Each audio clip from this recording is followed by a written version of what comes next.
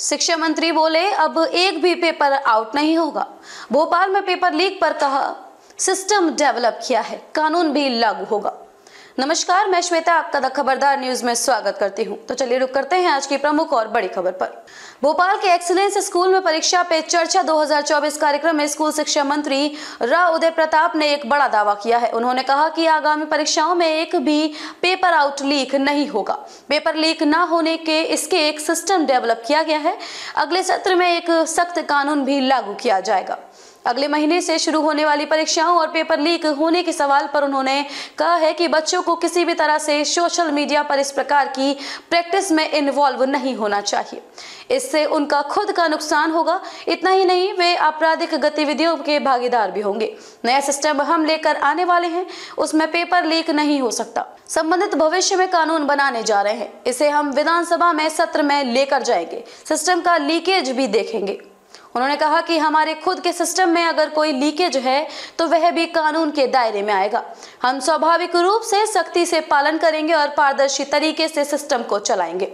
जहाँ आवश्यक होगा कि वहाँ हम वीडियोग्राफी भी करवाएँगे। इसके अलावा हम मॉनिटरिंग सिस्टम की स्ट्रेंथ भी बढ़ाने का काम कर रहे हैं।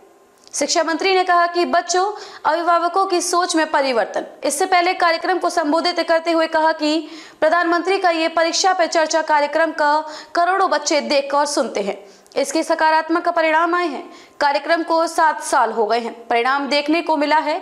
बच्चों और अभिभावकों की सोच में परिवर्तन आया है। अब अभिभावकों की कोशिश भी रहती है कि बच्चों को परीक्षा और पढ़ाई का तनाव ना होने दें। बच्चों को माता पिता और टीचर का अनुभव का लाभ मिल रहा है।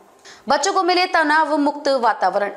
उन्होंने कहा कि हम बच्चों में तनाव युक्त वातावरण के लिए काम कर रहे हैं।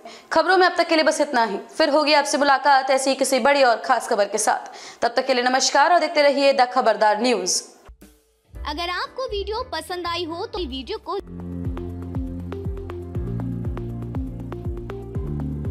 अपने सपनों का घर बना रहे हैं। एपी कंस्ट्रक्शन सॉल्यूशंस आपके लिए तैयार है। मज़बूत सिविल इंजीनियरिंग से लेकर आकर्षक वास्तुकला और विशेषज्ञ वास्तु परामर्श तक हम आपके सपने को साकार करते हैं। वास्तुकला, वास्तु और हुनर इतने बढ़िया।